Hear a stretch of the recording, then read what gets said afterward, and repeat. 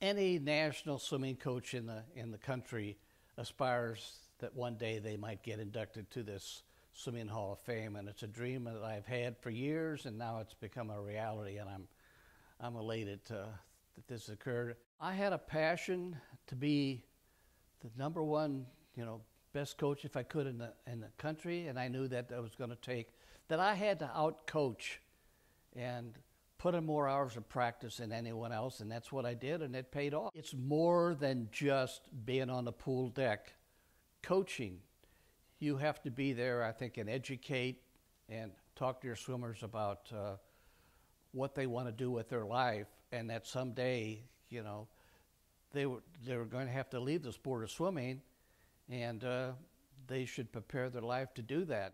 I guess I tried to. Uh, sell the swimmers on some really decent values and standards of behavior, and that they would uh, use those things.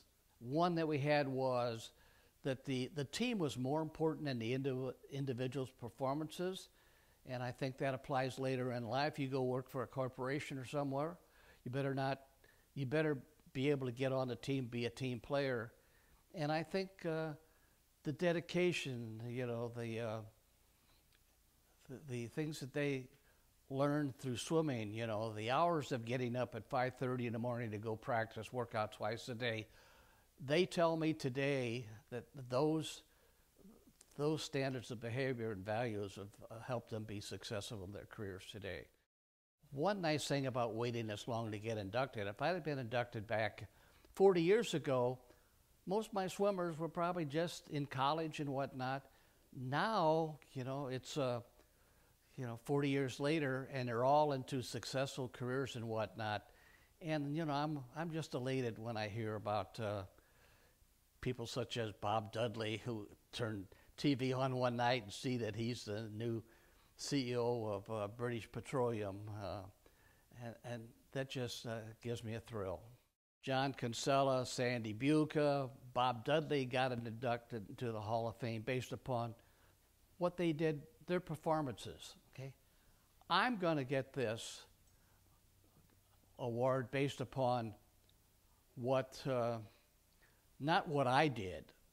I'm there as a representative of what they did with their careers, and I wouldn't be there without their without uh, them, and I want to want them to know that that I stand there representing uh, all of them, you know, the, the thousands of uh, boys and girls I had an opportunity to work with. Behind every successful man stands a, stands a woman, and Janet was that woman standing behind me and helping me. I can't tell you the number of parties that we put on after celebrating state meets. She'd be the one putting those parties on, not me. I mean, I just walk in and get the pats on the back for winning the state championships, and she's the one that planned all of this, you know. But uh, yeah, she was uh, never got credit enough credit for what she did for you know for my career. Yeah.